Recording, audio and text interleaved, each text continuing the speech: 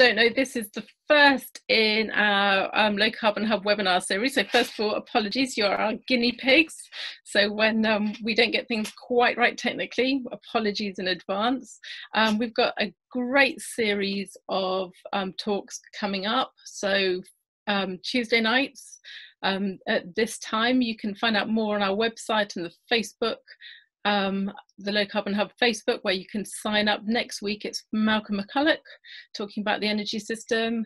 Then we've got Mel Bryce from SSEN telling us more, uh, more detail of Project Leo, which we'll be hearing more about later and how it's gone in the first year, and more planned in the future as well. So if you um, want to hear more about those, do, as I say, sign up. You can sign up to our newsletter, follow us on the Facebook page, and we'll also be emailing out as um, more of those um, come up in the series. So um, we'll just wait one or two more minutes and then we can get going.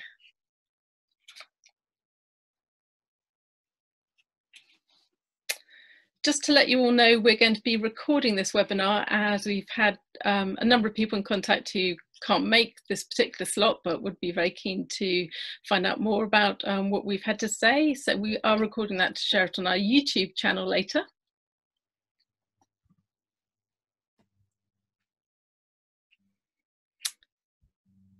Great to see more people from various groups joining us.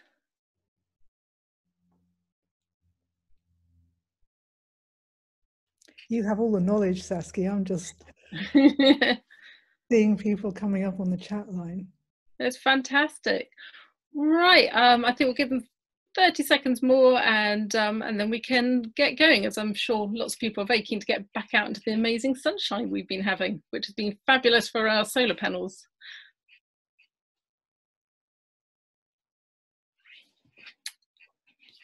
Right, I'm going to just start screen sharing. So if you bear me for one moment.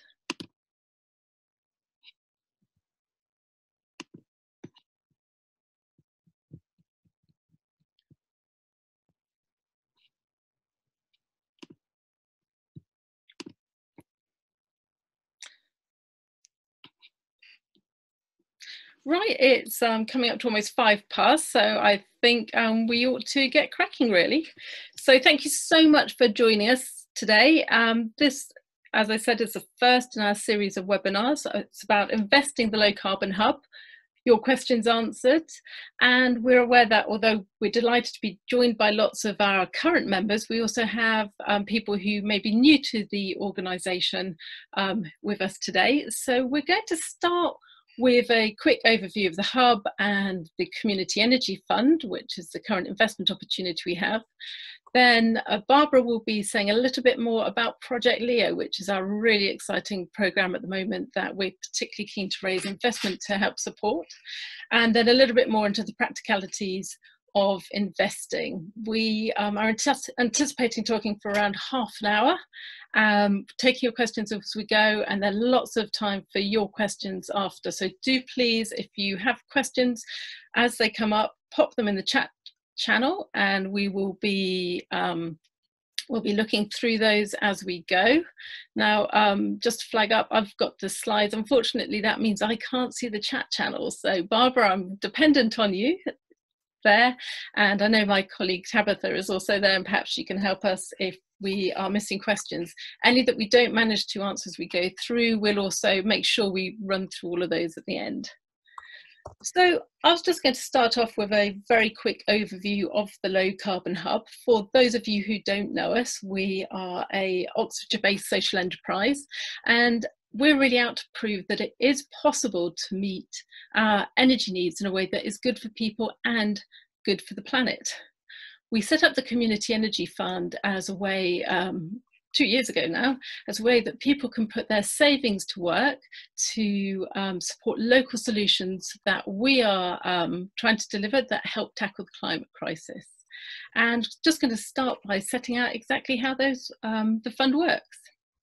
So when people invest in us, um, the money that people invest is used to buy solar panels. Um, so this is an array at a local primary school. This is Middle Barton Primary School. And these panels are um, paid for using the capital from the investment we uh, receive. They're generating green electricity, so immediately doing a bit to reduce Oxfordshire's carbon footprint. That electricity is supplied to the school at a discount, so the school's saving money. And um, the income we get from that and from this being a, um, this particular array being a panel set that was uh, built during the feed-in tariff. Um, we get also income from the export of the feed-in tariff. All that income is used to, first of all, pay our investors a modest return for their um, capital, because without that capital, we wouldn't have been able to put the panels in. Um, and then all that surplus is then um, donated to support further carbon carbon cutting activity, hard to say, carbon cutting activity across the county.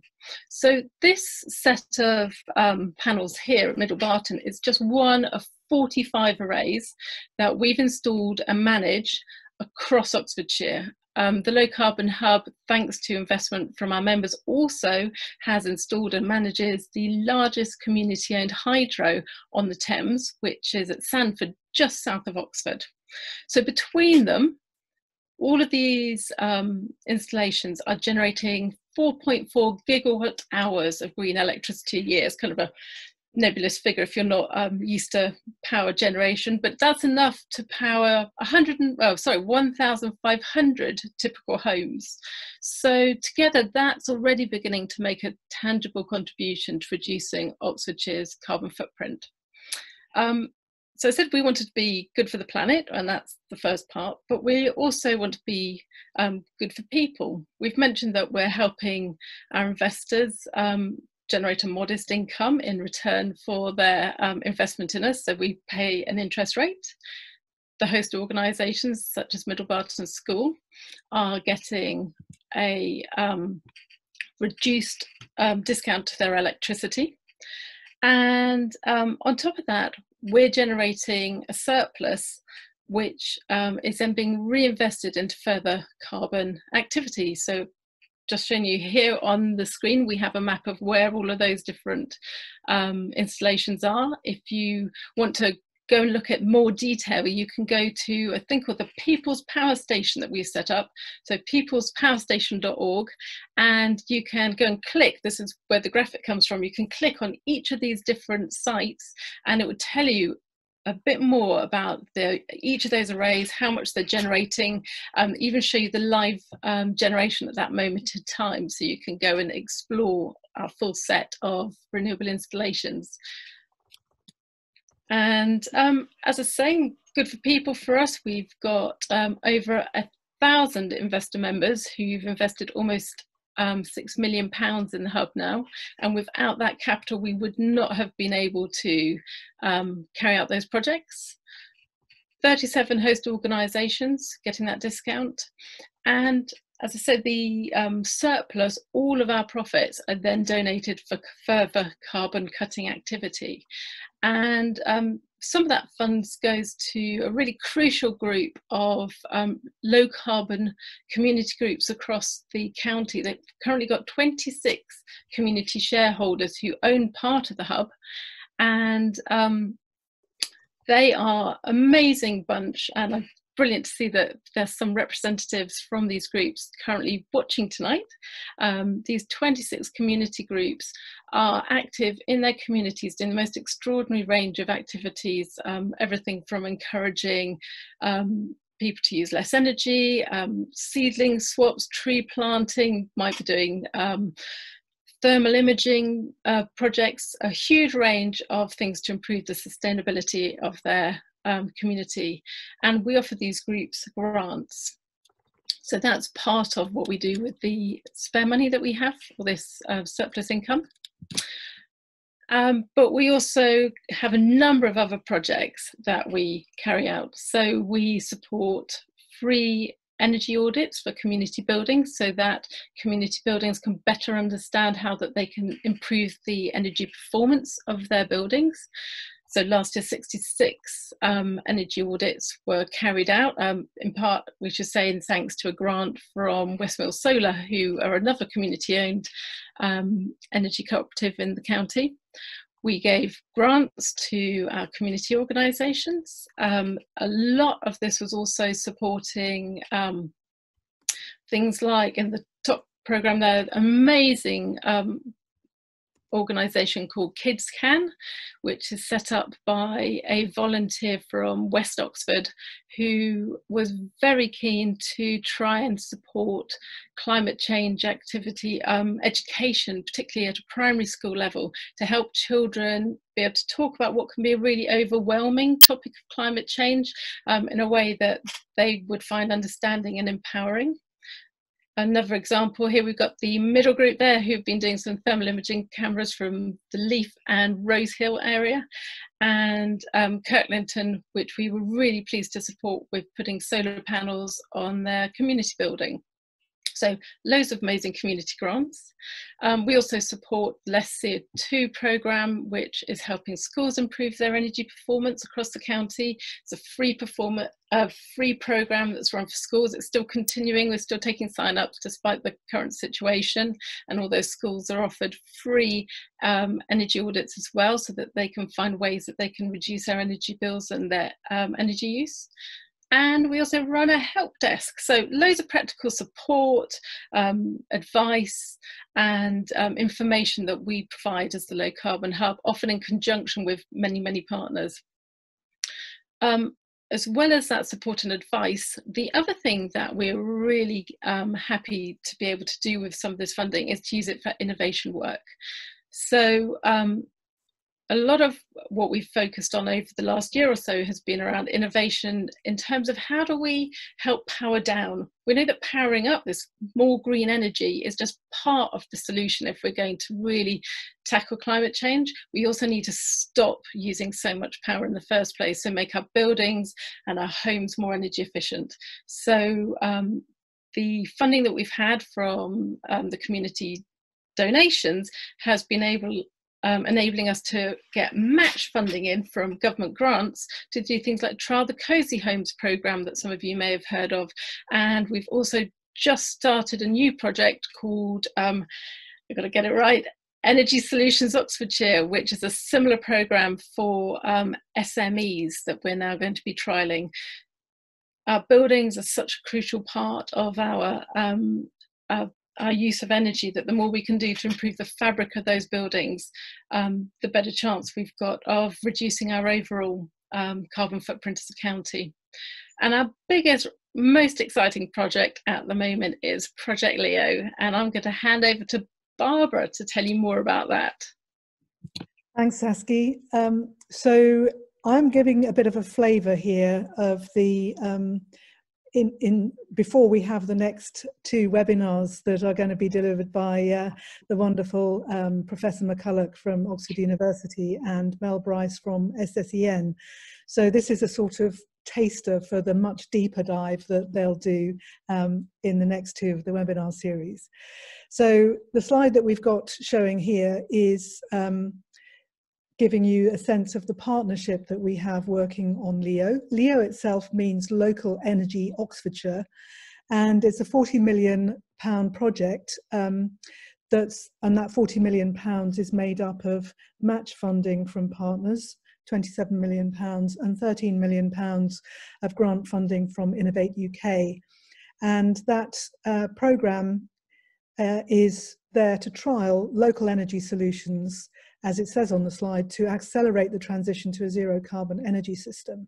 I'll go a little bit more into what we mean by that um, over the next few slides, but the, uh, the partnership I think is very important um, for you to see. We are very proud that as the Low Carbon Hub group of social enterprises, we can take part in a partnership of this size and of this quality to address the most serious problem that we're facing as a society.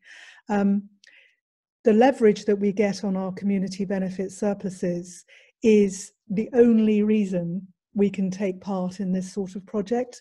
The leverage that we get from those community benefit surpluses that are enabled by the investment that you put into our community energy fund um, is a really um, special USP of what the Low Carbon Hub does. Um, and it allowed us to um, play a large role in convening this partnership right at the beginning of the process. It's led the partnership by Scottish and Southern Electricity Networks. Um, and that's important because they are the main distribution network operator for Oxfordshire. Um, and they've really seen the potential uh, for them in understanding how they make the transition to distribution systems operator, a neutral market facilitator in the new energy world. Then, of course, being able to work with Oxford University, Oxford Brookes University, the City Council, the County Council, um, and then big organizations like EDF Energy and exciting new startups like um, Open Utility or Piclo, Origami Energy, and uh, Nuvve. So we're playing, uh, we're punching pretty massively above our weight, I would say, and it's all due to our investors.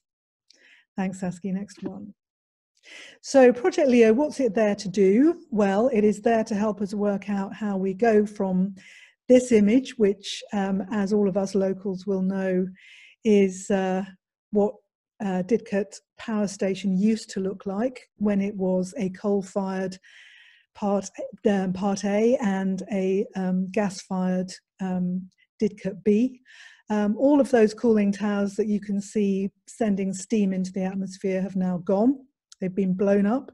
We just have the combined cycle gas turbine left. Um, and that is likely to be de decommissioned. It was going to be decommissioned by the end of the decade, but we're we're there, so not quite sure whether that's when that's going, but it will be going, and that turns Oxfordshire from part of that very centralised, very fossil fuel driven Rolls Royce, frankly, system that we've had in the UK, to the next slide, hopefully. Um, very exporting county to, to one that imports all of its energy. So how do we encompass that change in a way that deals with the climate emergency and benefits everybody who lives in Oxfordshire? Um, we mean everybody um, who lives in Oxfordshire. Clearly, you wouldn't be on this webinar if you didn't um, have a sense of where we're going with that transition, which which is to have this um, sort of very decentralized, very localized uh, energy grid where most of the transactions, most of the production and the use of energy happens at what is called the grid edge, the low voltage network, the distribution network. Um, how do we go from a very centralized, few enormous power stations sending all of their electricity into the transmission system to a system where we have millions of little decentralized renewable energy resources um, that are being shared locally and sent both ways. So uh, people receiving energy, but also sending energy out to the grid. It's, it's not a trivial problem, but it's one that we've really got to solve. And what we're saying in Project Leo is that we actually have all the components that we need to make that change. Yes, we'll see new things come on. Yes, we'll improve the technologies that we've got, but actually all of the components are there. We've just, we've just got to work out how to put all of those together, how to make them communicate with each other, how to share the data that's generated safely, um, and how then to run a market where you can sell flexibility services to the grid and you can sell energy services to people who want to use the energy. And we're assuming in making all of, in making that change to this sort of energy system that we'll do it best if we're really good at reducing demand. So the cozy homes and the energy solutions Oxfordshire that Saskya was talking about are an absolutely fundamental part for us of the whole exercise. So what does that mean for Oxfordshire? Why is Oxfordshire a good place um, to be doing this stuff? Well, first of all, we have a grid that is very tight in terms of its capacity. So um, it's quite hard to keep adding connections for renewable energy to it. Uh, and in some areas of the county, it's quite hard to um, connect new developments without significant up upgrading, which of course costs money. But also a reason for doing it in Oxfordshire is because um, we, as well as Didcot going, and therefore we as a county having a need to do this, we know a lot about the energy mix that we have in Oxfordshire at the moment. And it's actually the, the job that we have to do uh, from now on is actually mainly about solar. So this slide shows what's happened to the energy mix in Oxfordshire since the feed-in tariff came in. And you can see we've had a massive increase in um, renewable energy installation in the county. Uh, and this gives a sense of um, what technologies um, have been used for that. Uh, and you can see that um, landfill gas and sewage, sewage gas um, are part are agreed to be part of that um, renewables mix. Let's not have a conversation about whether they should be or not. But if we're looking forward from here to where we need to get to by 2030, next slide, Saskya. Yay. Uh, this is what we need to do. Um, we've used, we've developed the wind. We've got one wind farm. We're not a very windy county, and we have lots of MOD installations who don't like wind near them. Um, we've developed our hydro on the River Thames pretty much, and we've um, put two massive AD plants in at Cassington and Wallingford that take all of the curbside food waste from the county and in fact buy that in from other places. So what's left for the county is solar and if we're going to get to 2030 with the targets that were written into the energy strategy before the climate emergency hit, then we need to increase our solar capacity by sixfold um, to get to that point. Um, my view of that is that um, if the market conditions are right, it is not a problem technically to develop that amount of solar. And in fact, we're seeing planning applications coming in all over the county now for really quite large solar farms. To get to that point across the county would need a few percent of our land area. It's not massive. Uh, it would also be great if we uh, developed as much of our rooftop solar as we could but don't underestimate the difficulties of that, and we can go through those um, later in discussion if people want to. Um, but the questions around that for a local energy market are, firstly, how do we do that this without the FITs? Um, because as soon as you don't have the FITs, which we now don't have, you have to stack the value using the jargon, from lots of different sources of, of income, each of which has their contract and all of which might have a contract that's over a different period of time. So making the project investable is far harder than it was uh, when we had the feed-in tariff.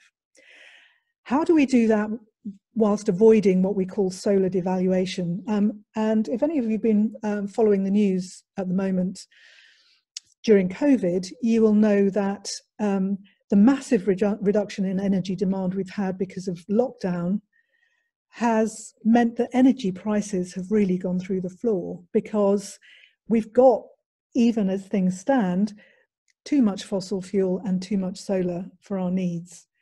That's what we mean by solar devaluation. If we keep developing solar, how do we do that in a way that doesn't massively over provide for the summer period? And we'll come on to that in another slide.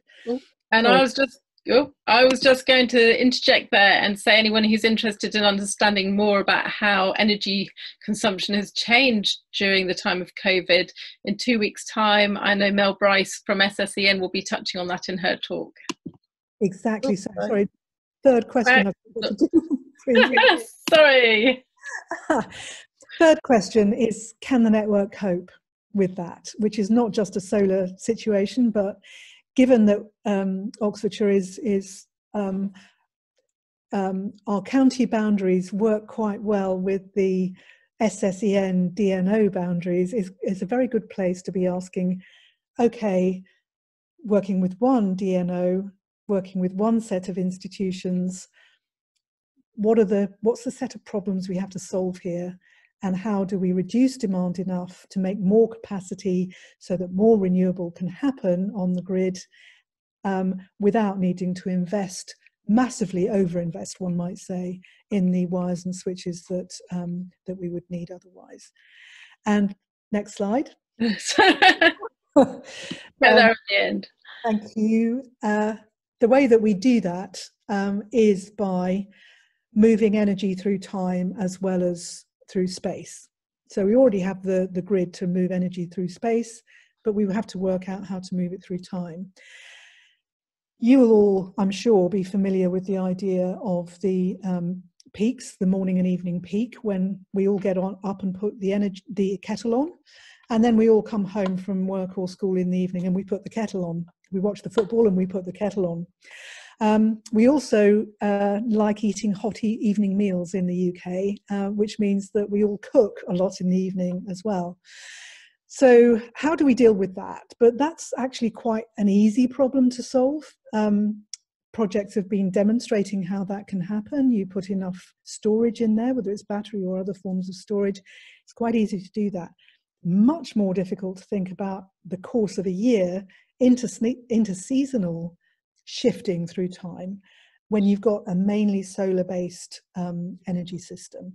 So, one of the things that Project Leo is looking at is how do all of these projects help the DNO to deal with peak um, capacity issues um, so that we can help not having such a peak of demand on the system?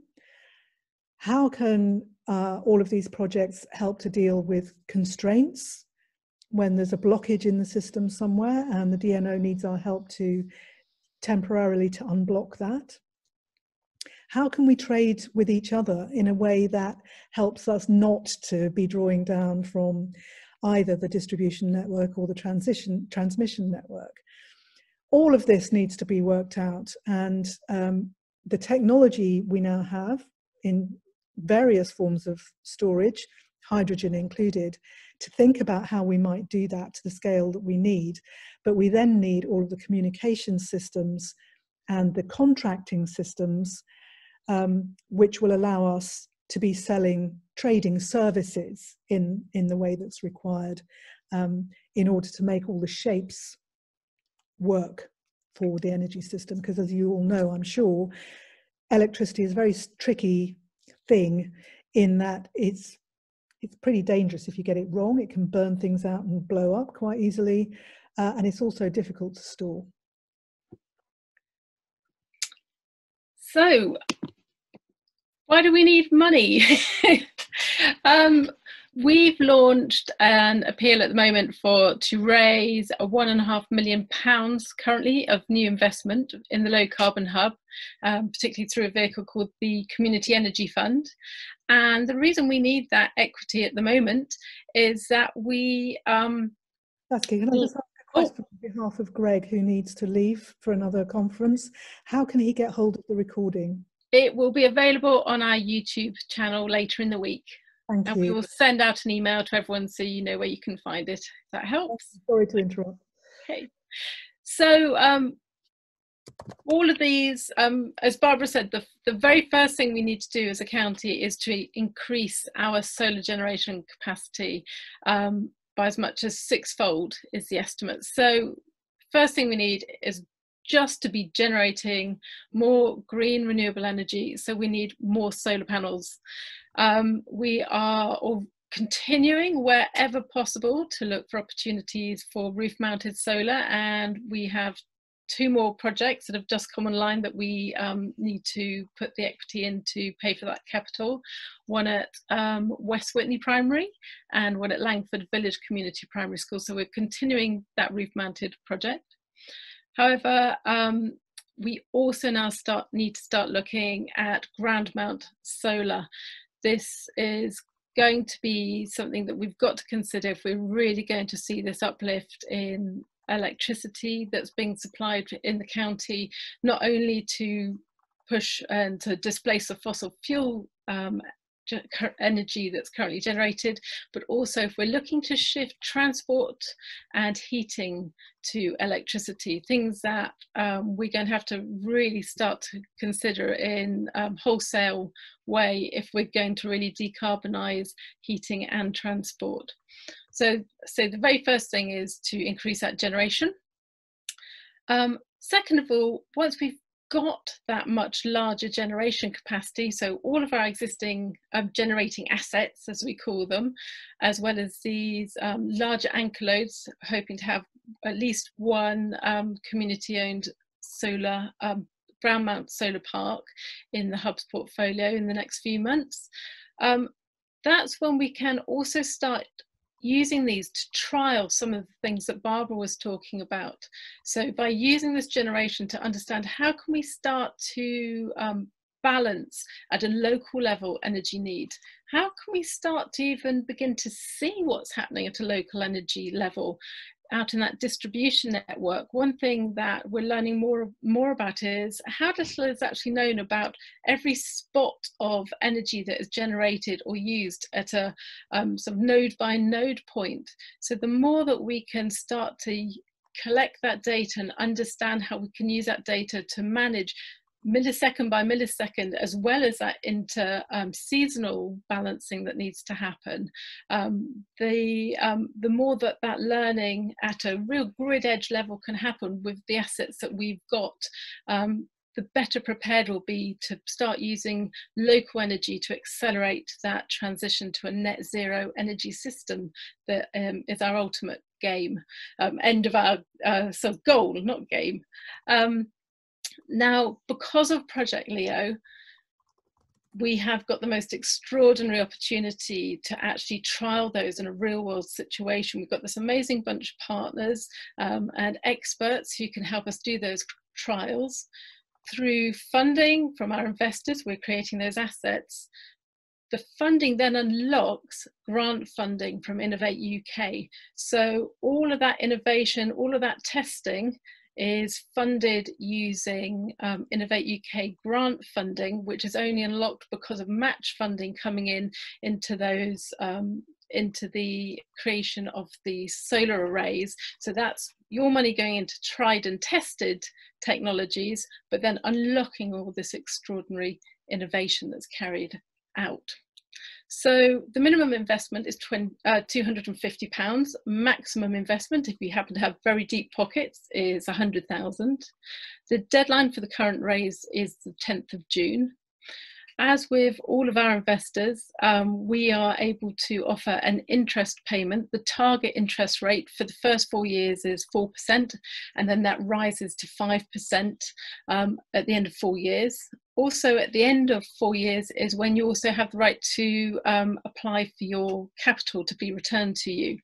We really need to stress to people two things. First of all, um, we really hope that investors, when they um, entrust us with their funds, are aware that this is a very capital intensive project and our projects are modelled over 20 years. So um, it's hard for us to be able to release all the capital immediately. So please, if you're going to invest, view it as a very long-term project. We understand um, in terms of investment, we do appreciate that situations change and people may need their capital back sooner, which is why we have this mechanism to apply, but we cannot guarantee that you will get your funding um, that you've invested in us back immediately. So we need people to be really aware of that.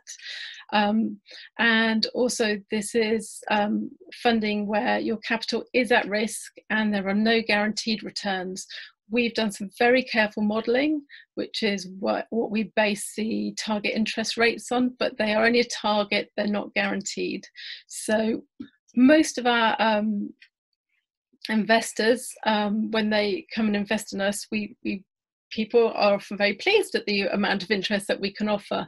But many people are also really keen in understanding that social and environmental return, which are to many just as important, if not more so, than the financial returns. So we hope that if you're considering investing in the low carbon hub, you'll see that investment in the round and just an amazing way of turning your savings that might be languishing in a current account or a savings account with very low interest rate could actually go out there and start kick-starting some of this amazing innovation we've been talking about. So um, if you are considering investing, then um, go to our website, lowcarbonhub.org, and there's a whole section on there with lots of background materials, including our share offer document.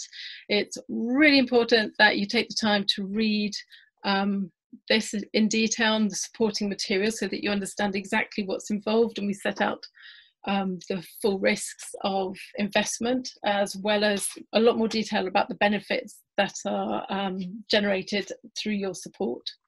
And if you're ready to invest, then click on the link and it's all done online through our investment partner um, platform, Ethex. So all the links are there. So um, before we start going into some more of the questions, did just want to flag up, as I've mentioned, that we've got many more webinars coming up. Um, next Tuesday, Professor Malcolm McCulloch is talking about um, the energy system transition and the role for local energy in that. We're absolutely thrilled that Malcolm's going to be um, able to join us for that talk. Um, as anyone who has heard him speak before understands that he takes what can be a very complex subject and make it very accessible. The following week, um, I've already mentioned that um, our project partners, SSEN, Mel Bryce from SSEN will be joining us and talking about all the successes and what we've learned from that first year. Um, and now we're in the world of Zoom. The great thing is Mel lives up in um, up in Scotland, but she can join us through the power of the internet without having to jump on a plane, which is great news. So um, that's about forthcoming webinars. I can see lots of questions coming in, but um, I'm going to um, pause there for a second. I can see Barbara's been answering some. Let's make sure we do as we promised and start answering some questions. Barbara, if you should we where should we go back up to? There should we um, so we've done planning um, and uh, I think one thing that I just wanted to say that it's quite difficult to get into a, um, an answer on the uh, chat is that we've taken advice from uh, a very experienced planning lawyer who has looked at all of the policies in the local plans that um, we have across the, the five districts. And very surprisingly to us, um, despite what we thought were some very strong statements about um, what people are required to do, her view is that um, none of the policies in the plans are really strong enough um, to get what we need coming out of public inquiries and definitely not at all strong enough to get the um, to get all of the um, applications for new renewable installations um, having to prove a community benefit in doing that. So one of the things that we're doing is working to improve that situation. Uh, Barbara, we had a question from Hugh who's um, come across um, the work of Tesla in the US applying solar roof tiles for houses. Yeah. Do you want to say a little bit more about that? Yeah, I've I've um, I made a um, a little response to Hugh and talked about roof trees rather than rooftops. And mm. sorry about that, fat finger syndrome. Um, just to make the point um, really clearly, hopefully at this point, is the the feed-in tariff finished um, at the end of March 2019, and then there was another six months for community energy projects, a sort of extension for community energy projects and a further six months um, for um, community energy projects because of COVID. But we're effectively beyond the feed-in tariff now, and that uh, means that um, you know from from our point of view, just before going on to what it means, um, our view is that that was slightly too early um, because prices, solar prices in particular, um, hadn't come down far enough to make a seamless transition from the feed-in tariff to what's called grid parity, where you can produce energy at the same um, retail cost as the incumbent technologies. Um, but even even so, even if it had been delayed slightly, there would still be the question of how you make a project investable without a feed-in tariff, because the feed-in tariff is brilliant. It's paid on every single kilowatt hour that you generate, and it's linked to inflation. And it's not just CPI, it's RPI, which is about 1% um, higher than CPI, CPI, generally. So it's a really great gold plated um, uh, underpinning to uh, renewable energy projects. That being gone, we are now dependent on selling the energy, supplementing that, that, that sale price or um, the uh, upsiding is the jargon uh, on that, those sales with selling flexibility services, selling energy services. Um, and the issue about all of that, uh, the sales, the flexibility services, the energy services, is that you're stacking up lots of little bits of revenue, all of which depend on a separate contract. And pulling all of that together in a way that is um, really solid and safe and secure and investable in the way that people have become used to with a feed-in tariff is quite difficult. And one of the things that Project Leo uh, allows us to do for ourselves and on behalf of others is to try all of this new world out in a way that's helped along by the Project Leo Innovate UK grant funding. Um, so it's a really important thing that we're doing for the future beyond Leo and for community energy organisations right across the country. We've had a um, comment from Ian Geddes from Sandford, who's aware of a very large um, solar farm that's planned for um, the area in the Baldons parish. Um, and perhaps let's say a little bit more about um, about that, because I think first of all, it was a question relating to the size of it. So was there still need for for more um, solar and what might be the impact.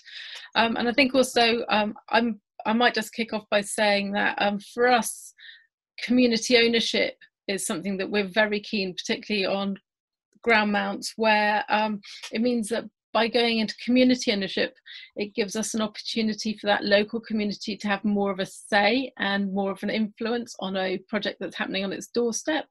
Um, we're also really keen um, that you think not just about the, the wider environmental benefits when something like a mount solar is planned, uh, but also the immediate impact on local ecology. And there's been some great work from other community solar cooperatives um, in the county that we'll certainly be learning from about how you can manage the land in a way that's best for the local um, biodiversity. But Bar Barbara, perhaps you could say more about in terms of the actual volume of um, electricity that will be generated. Um, so the we're aware um, of the um, of the big um, application um, at Baldon, and it's in line with the sort of size of applications we're seeing in quite a few different places. What I would say is that um, those applications are coming in um, as a way of sort of marking out the territory. So, and they won't go ahead and be built until the market supports them. Um, and the other thing to, to be said is that the way the market is tending at the moment and the way that government policy is tending at the moment, it's really driving the scale up and not supporting the smaller schemes or domestic schemes in the, in the way that we've we have seen previously with policy. So where the game is at at the moment is is that size of solar. Um, I don't necessarily, you know, you can tell from the way that I'm making the response that um, I don't like the market being driven to, to scale in that way necessarily. But I would also say that I think it's a necessary thing to have alongside a market that supports um, activity at the smaller scale um, because just because of the of the, the scale of installation that we need to have if we're going to get to 2030. So that one at the Baldons will add to our need to increase sixfold, and in in those terms, it's a good thing. what I would like policies, planning policies across the county to do is to support, um, to be really strong about how those projects should also provide community benefit. They should also um, be required to include the community in getting direct benefit from them. Um, and indirectly, therefore, support the work that we're trying to do to include everybody in this new system across the county. So we had a question from Jan as to what happens if we're unfortunate and don't manage to um, get the projects that we wanted um, lined up um, to spend the capital. First of all is a couple of those projects have already happened, so we do already need capital for that, um, for those roof mounted projects, and we've got a pipeline that's always being considered for roof mounted solar. The ground mounts, we've got um, three projects currently under investigation, but um, if um, and for us they're very important not just because um, having announced a share offer we're very keen to make them happen but they're really very crucial for project leo so we really will be doing everything we can to make sure that um, we um, can continue to grow our renewable portfolio. But ultimately, if we are unsuccessful, we would be returning investor capital invested in this round. Um, but it's still our ambition to pay the interest payment um, for the time that we at least had your capital.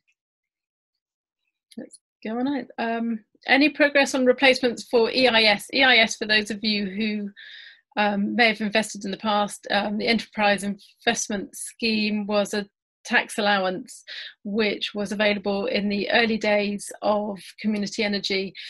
And unfortunately, there does not seem to be any movement at the moment in the government um, on tax breaks for um, investors. It has been something that um, the um, Community Energy England has been lobbying for as um, um, ever since that stopped. But to my knowledge, there doesn't appear to be anything happening. And in fact, also there was a social, or SETA, what does CETA stand for, Barbara? It's social investment tax relief. Thank you, which was not available to um, renewable energy projects, but to other social um, enterprise investments is also um, potentially at risk as well now. Do you have anything else to say on that, Barbara? Um, it's going to be very interesting to see. I mean, it's very difficult to forecast government policy given the situation that we're in. Um, I would expect tax reliefs to be one of one of the things that are, is really under question. It was before COVID. It must be even more post COVID. Um, Paul asks about any concerns we have about dropping electricity prices, um, especially at, the moment. Yes, um, yes. Um, so I think there's an, another question from Seema as well, Seema Dave from the county on uh, the same question. So um, just to give a sort of, for those who, who aren't following the news on this, a, a sense of the scale of it, um, the power purchase agreement prices that we're being quoted at the moment from our normal um, provider uh, are tw about 24 pounds a megawatt hour where they used to be in the high 50 pounds per megawatt hour. Um, now, you would expect that these energy prices would be a blip because of COVID. I mean, the energy demand has has has has really reduced dramatically um, through the COVID period, um, and that they would recover um, once we're back out of um, lockdown again. But it is something that's uh, a concern. It's something that we're tracking very carefully, and um, we're um, modelling our financial models in quite a pessimistic way, not as pessimistic, I have to say, as 24 pounds a megawatt hour.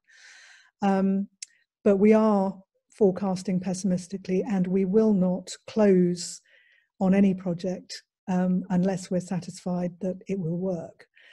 Um, and that's one of the reasons why um, we're still working on bringing the projects in that Saskya was referring to earlier everything's taking a lot longer because of COVID, but we still think it's important to raise the money to have our investor capital there so that we can be saying to any project that comes through, yep, we're in there, we can do this because we have this money behind us. So Um, it's difficult times.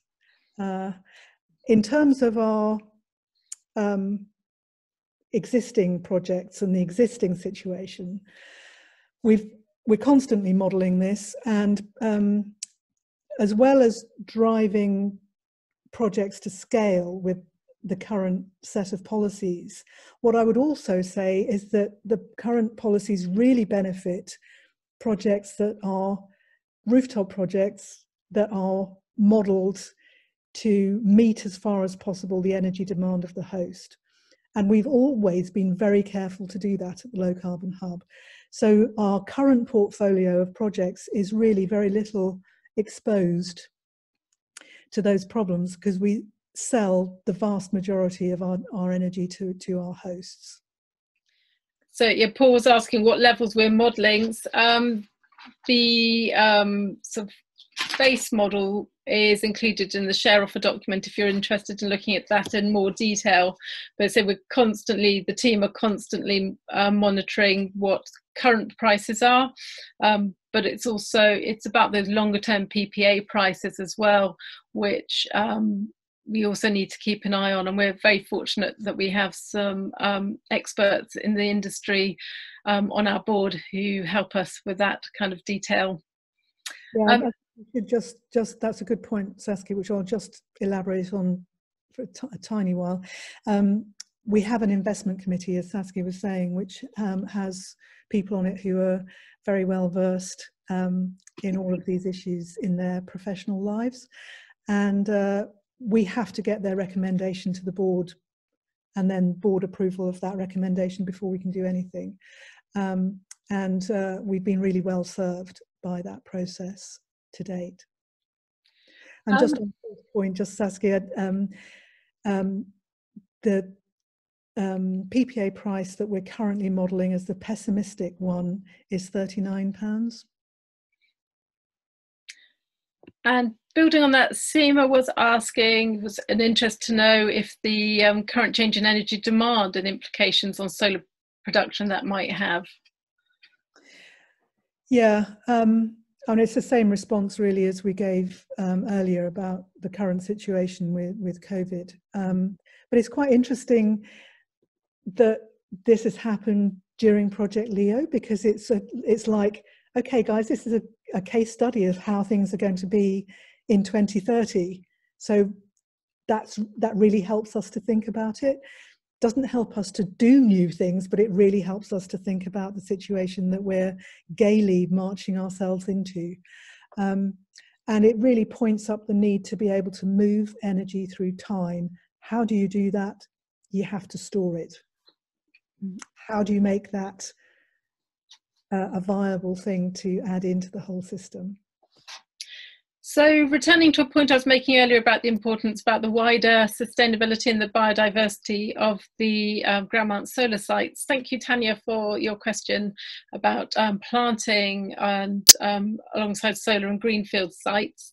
Um, absolutely, that we'd love to follow up with you on the point that you've made there. Um, we we have seen some great examples in terms of that improved biodiversity on sites. And as you say, careful planting, partly for screening, partly for the biodiversity, is something that we'd really be looking into. And we're trying to build our knowledge and expertise on that. So um, we'll be following up with you if that's all right. Um, and a question from Guy Johnson about um, um, IF ISAs. Um, this particular share A's isn't because it's equity is not applicable. My understanding is that it would have to be a bond, um, but um, I would suggest that if you're interested in that kind of area, chatting to somebody like Ethex and looking at their website, that's E-T-H-E-X, Ethex, um, have got some blogs and some more information on their platform about um, IFISAs. Let's see, have we missed any questions there, Barbara? Um, I think we haven't. I think we've been quite um, diligent in going through all of those, and it's been great to see all the questions coming through. I do love this way of running conferences because everybody can get their say. It's really great. It's a, a last moment. If you think we've missed your question or you have a last minute question before we wrap up, do please pop it now in the chat. Otherwise, it really just leaves us to say, first of all, we hope you've enjoyed this session. We'd love your feedback. As I say, it's the first time we've run one, so we really need your feedback so that we can um, understand how we can improve and make them um, most enjoyable and interesting to you. Second of all, a reminder that we've got um, two webinars already scheduled and more in the pipeline. So please um, do sign up for those and we um, we'd love it become a regular Tuesday night activity, coming and talking about things low carbon. Um, if you um, are thinking of investing in the Community Energy Fund, please remember that the 10th of June is the deadline. You can do it all online, and all the information is on our website at lowcarbonhub.org forward slash invest. Um, but if you have um, any other questions as well that pop up afterwards, just pop them to us at info at lowcarbonhub.org and the same um, info at lowcarbonhub.org for any feedback and suggestions about how we can improve our webinar series and also any topics that you'd like us to cover, any areas that we might have touched on that you'd love to learn a lot more about. So I think that just leaves us to say a great big thank you for joining us and um, we hope to um, be in touch with all of you in the near future and hopefully see you at future webinars. Thank you. Thank you. Is everyone still on?